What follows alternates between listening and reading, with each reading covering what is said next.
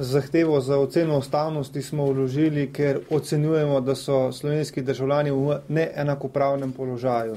Neka skupina državljanov lahko prejema polno pokojnino in hkrati še naprej nemoteno upravlja svojo dejavnost, na drugi strani pa imate skupino državljanov, ki bi ob polnem prejemanju pokojnine mogla zapreti svojo dejavnost. Tukaj ne izpostavim konkretna dva primera, naprimer na eni strani profesorjev, ki se lahko upokojijo, dobijo polno pokojnino in svojo intelektualno delo še naprej na trgu ponujajo preko avtorskih pogodb.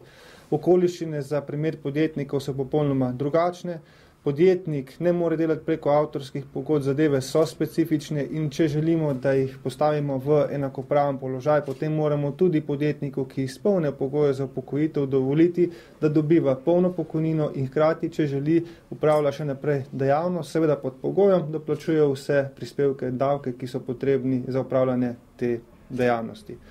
Osnovno vodilo, ki nas je pri vsem skupaj vodilo, je, da vsak državljan, ki izpolne starostne pogoje in ki ima primerno delovno dobo, lahko dobi polno pokojnino. Od tu dalje pa vsakdo lahko tudi dela, seveda, če za to plačuje primerne prispevke in davke. To je aksijom, ki smo ga postavili in na takšen način bi morala država spodbujati vse skupaj, da čim dalj časa ustrajajo na trgu delovne sile. Bom povedal zakaj.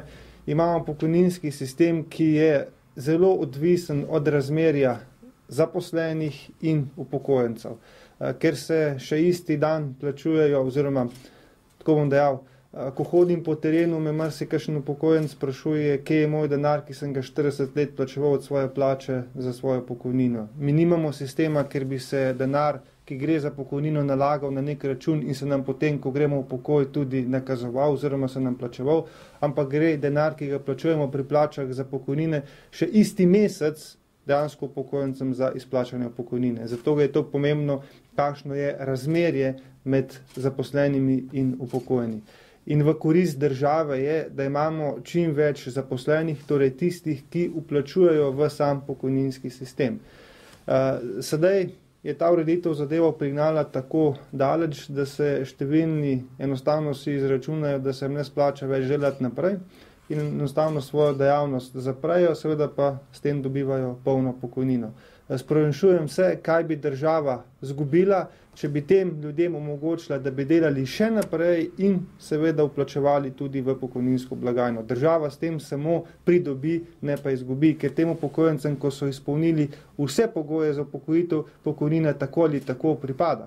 Če pa so te ljudje pripravljeni še naprej delati in v pokojninsko blagajno plačevati vse prispevke, res ne vem, kdo je tukaj nor, da bi takšno stvar preprečeval.